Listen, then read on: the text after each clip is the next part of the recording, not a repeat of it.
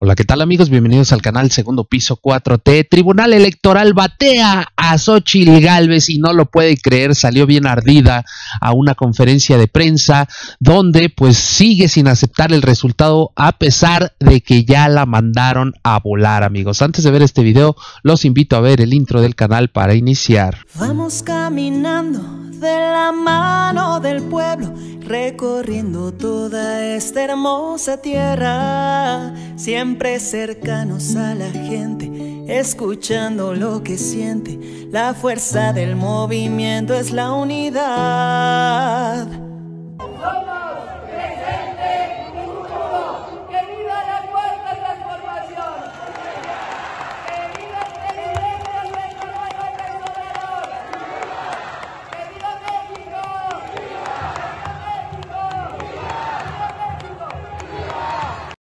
Amigos? Bienvenidos al canal Segundo Piso 4T. Hoy es 14 de agosto del 2024 y el Tribunal Electoral batea a Xochitl Galvez. Ya le dijeron, ¿sabes qué? No importa tu impugnación, no se va a anular la elección, que es lo que estos personajes impresentables querían hacer, pero pues no lograron su cometido. Ya salió el tribunal el día de hoy a decir que pues ya hay presidenta y es Claudia Sheinbaum.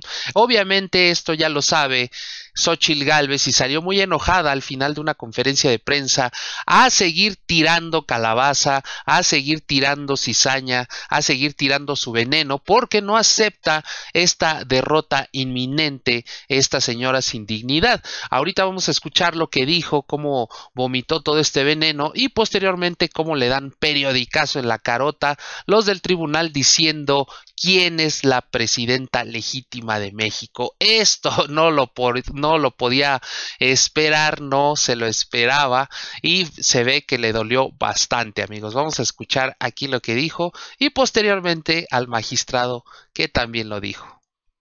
Voy a hacer un comentario final. El día de hoy se califica la elección presidencial. Va a ser muy importante que la próxima presidenta tenga claridad de qué pasó. 40 millones de mexicanos decidieron no participar. 25 millones de mexicanos no votaron por ella.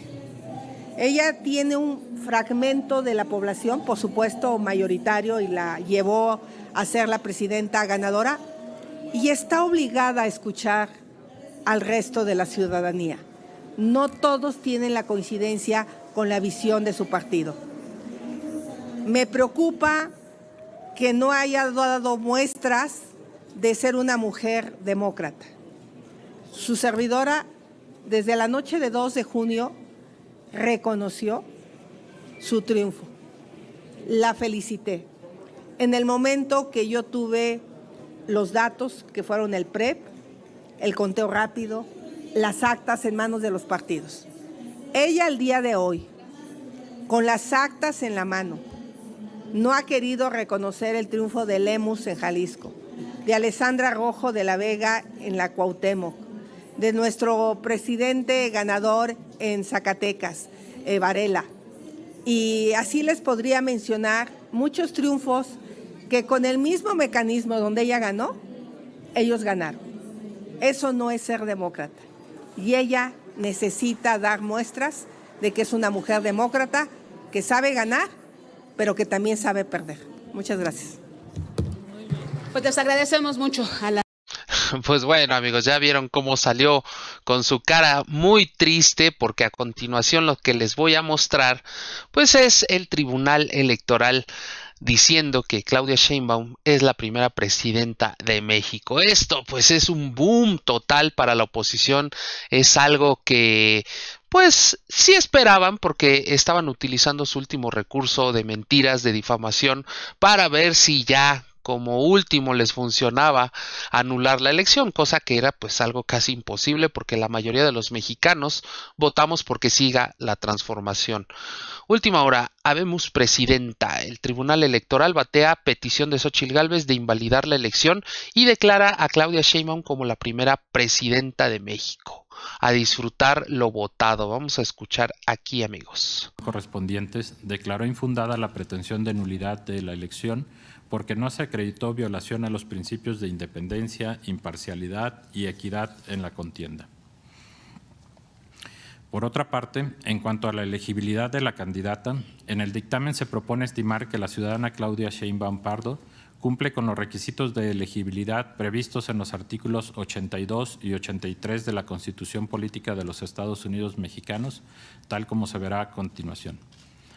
Quedó acreditada que es ciudadana mexicana, está en pleno goce de sus derechos, se advierte que su padre y su madre tienen nacionalidad mexicana, tiene una residencia mínima de 20 años en el territorio nacional, tiene más de 35 años, residió en el país en el año anterior a la jornada electoral, no pertenece al, Estado eclesiástico, no es ministra de culto religioso, ni está en servicio activo en las Fuerzas Armadas.